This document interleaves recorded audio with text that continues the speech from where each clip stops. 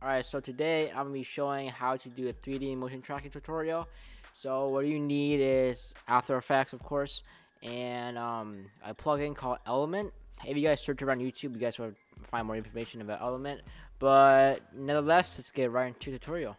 Alright, so after you have After Effects open, this is not a um, detailed tutorial. I am not an expert on After Effects myself. I don't use it often, so I use it for um, motion tracking.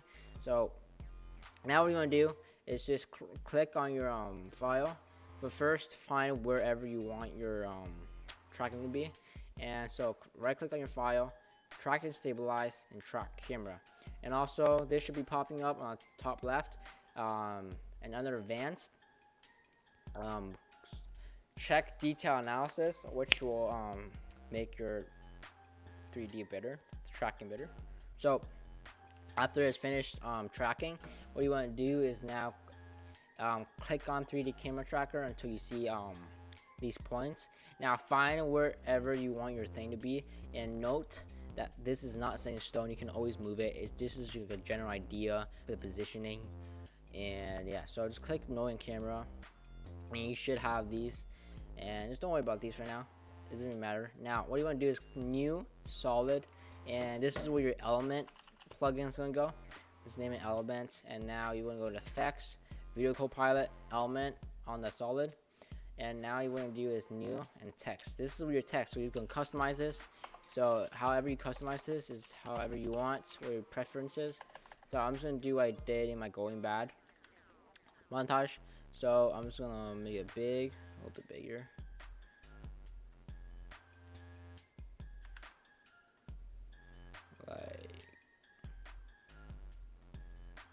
That.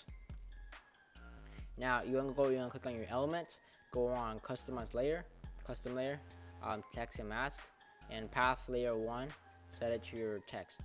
Now uncheck this, go to this um, texture map drop down, layer one, and click it to your video file, and do the same for your render settings, physical environment, override layer, in your video file. So now this is where you um, create your 3D text. So click on your scene setup. What you want to do is extrude, and this is where your um, text is. Now, click on environment and customize custom layer one, and what should be your um, whatever your name for the file is, and click OK. And now, uh, if you want it thicker, like width, just um, come down to bevel scale and just like extend how long, however you want, increase it, decrease it. I like that this should be good for me. Now, this is where you can customize your text. Go to um, extrusion model, down arrow, and bevel 1. Now scroll down until you see um, basic settings, diffuse color, and just set whatever color you want. So like, any color of your choice.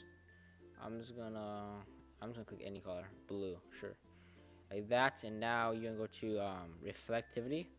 Um, click the same color. Um, so copy and paste it. And now intensity. Set all the way to 100 so now if you slowly um, go across you can see like ref reflections. That's really cool right? Yeah. So you're done. Click OK. And now you have this right in front of you. So just like hide it. Hide the text and now you have this. So now it's just all basically an element. So you want to go group one, um, and here's your positioning. Go to particle replicator, and this is where you can position all your um, your text.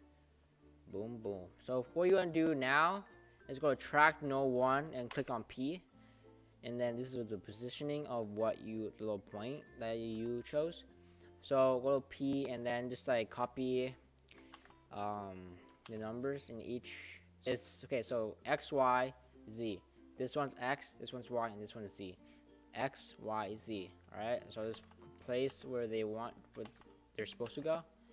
And then you should have it right here where my track is perfectly. Now you can delete this. You don't need that anymore. And now I don't want it there so it looks bad if you know what I mean. So we can just like change it now um, let's see. Boom. Oop. Uh. There you go. That looks pretty good. So I kind of messed up on this like cinematic. It's a bit towards the left a bit, and the right is it's not even, so it doesn't matter. And now Z is four now, like four now. So I'm not gonna mess with this. I'm just gonna um go to particle looks, and then this is the size. So just extend it, get bigger, and then yep. And now it's slowly coming out, so it's gonna stay in the middle. I uh, actually want it to come out a little bit more. I'm, this is just a tutorial. I'm not gonna get into in depth this. Alright, so how you um, do all the scatter thing on example like screen right now, where all just like like touching each other, like scatter around, and then it slowly comes in. So what you want to do is um, go down on multi objects, ch check enable multi objects. Now go down to under rotations, and you see see rotation random or whatever that says, RA and you want to click on like click on the timer and then you'll go back to your composition click on new under elements and that should pop up and now you want to like just rotate it however you want now if you see some like whatever like right here it's all just like moving as one not individually. What you want to do is go back to your text right here and just like spread out like withly like spread each of them out by itself like that. Now it should be like individually scattered. And then you want to go forward a bit however long you want and click on zero.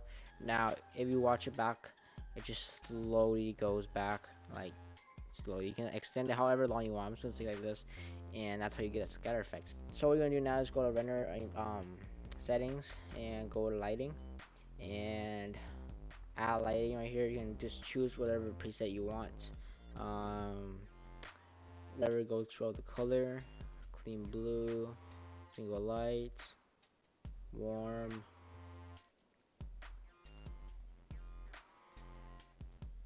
yeah so I'm just gonna go with spot blue for now. It kind of matches it. And go to additional lighting. Let's go up like 133 yeah so that gives it extra like glow lights towards it. Now next you want to add some shadows. Go so go to um, ambient occlusion enable this and just like I like mine at like 32 and 16 and just make the intensity a little bit around 6 and then just like mess around this is all personal preference. I'm just doing it to show you guys you can do this. I got some shadows. Let's some shadows nice, look, nice looking. Now after you're done with this here's another thing you can do is um go to output um, go to sampling analysis, analyzing, whatever it's called, and just make and just change this, increase it like one, two, three, four. It just gives like a like a nice edge, like a smooth edge around the text. So just make it however long you, how much you want. And if you just go more, you can just make it kind of blurry and stuff like that. So I wouldn't recommend more than five. So yeah, that's pretty much it. Now you just render this. So if you just watch it forward, like that as keep staying with the location the position you want and that's pretty much how you do 3d motion tracking boys and girls. So if you have any questions comment down below dm me on any social medias and yeah make sure to subscribe and like and see you guys later